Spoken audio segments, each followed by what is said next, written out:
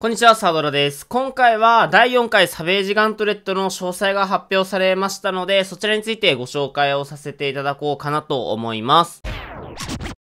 早速内容に入っていくんですが、サベージガントレットステージ4ですね、開催予告2023年の8月25日の12時スタートっていうことになっています。なので、まあ明日のもうお昼ですね、からスタートをしまして、内容は今回のアップデートから新たに追加されたボスバトル系のサベージガントレットになっております。で、今回はまあ5人チームで挑みますっていうことで、今回はボスバトルです。リスポン回数が5回までに制限され、残りリスポン回数が0になると、その時点で敗北となりますってことになっています。で、これあくまでリスポーン回数なので、リコールをするのは問題ないと思うんですよ。なので、5回力尽きたら終わりっていうわけではなくて、5回死んでもリコールさえしてあげれば大丈夫だとは思うので、野良でクリアする場合はリコールをしっかりやってあげるとか、そういったのでクリアはしやすくなるんじゃないかなと思います。で、もちろんタイムを狙うのであれば、そのリコールの15秒間ですね、とかはもう時間の無駄になってしまうので、まあ、その分を自分たちが力尽きないように立ち回るとか、まあ、最悪力尽きるのが多い場合は、ニンバスでリコールするとか、なんかそういった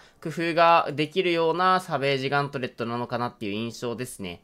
で、あとは、まあ、いつも通りですね、制限時間内にクリアできれば優秀なファイターとして認められます。で、まあ、タイムをね、詰めてみてください、みたいなことが書いてあります。で、開催期間もいつも通りですね、金曜スタートの火曜日のお昼終わりってことになってまして、フィールドは時空の狭間ですね。で、報酬に関してはもうランカーワードでいつも通りで、えー、クリアタイム競って、えー、クリアタイムが上位20%とか50%で区切られて報酬が準備されています。で、参加条件はストーリークリアっていうことなので、まあ、今回のサベージガントレットがネオティラノですね。なので、まあ、今までは結構立ち回りチャートというか、まあ、こんな感じで立ち回るとタイム出るよとか、このスーツでやるとタイム出るよみたいな感じだったんですけども、各々のプレイヤースキルを求められるサベージガントレットになるんじゃないかなとは思っているので、まあ、明日が楽しみですね。ということで今回は第4回サベージガントレットの告知が来ましたので、そちらについてご紹介をさせていただきました。これからもエグゾプライマルの動画上げていきますので、よろしければチャンネル登録、高評価、コメントくださると嬉しいです。バイバイ